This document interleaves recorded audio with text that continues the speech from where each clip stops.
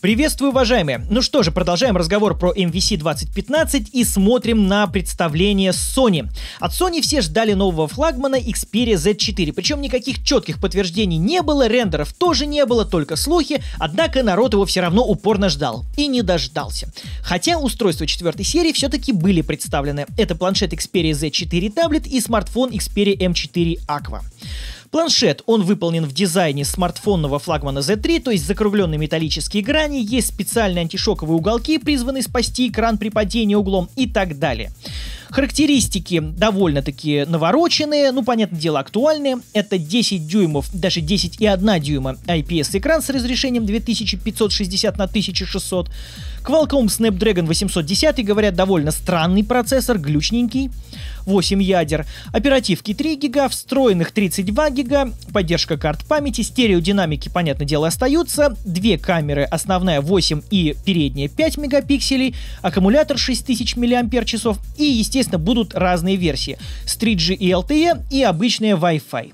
Есть технология быстрой зарядки от Qualcomm, которая позволяет зарядить планшет до 70 за час. Ну и, конечно же, защита от воды и пыли по стандарту IP68, так что можете спокойно принимать ванну одновременно смотреть любимый сериальчик, например.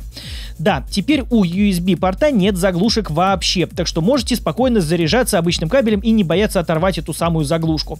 При этом у нас исчез, как я понял, все-таки магнитный зарядник. Не знаю, хорошо это или плохо, просто как факт.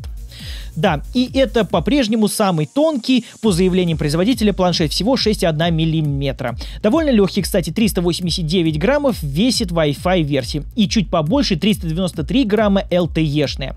В начале лета ожидается цена очень высокой 559 евро, это почти 40 тысяч на сегодняшний день. Кроме планшета показали еще аксессуары к нему. Это умная клавиатура BKB50 Bluetooth Keyboard, штука, которая является и клавиатурой с тачпадом, и к тому же док-станцией, и к тому же еще штукой, к которой можно подключить проектор или принтер. Вот такая вот универсальная вещь. Второй аксессуар это обычный чехол, тут даже говорить нечего. Ну и третье это беспроводная колоночка, напоминающая лично мне советский будильник. Называется она SBP60 есть NFC, есть необычная подсветка, которая меняется в зависимости от ситуации. К тому же по ней можно и поговорить, и на ней есть маленький экранчик, который отображает название песен, состояние подключения и так далее и тому подобное. Смартфон. Значит, смартфон M4 Aqua продолжает дело флагмана. Очень похож на предыдущий Z3, хотя и попроще. У него экран 5,2 дюйма, но IPS с разрешением 1280 на 720. Snapdragon 615 64-битный, 2 гига оперативки.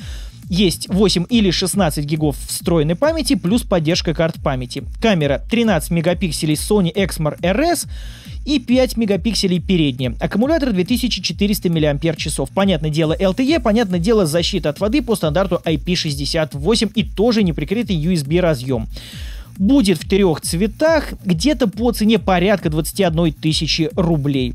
Ну, ждем, когда начнутся продажи. Ну, или не ждем, ждем уже осени, когда будет Z4.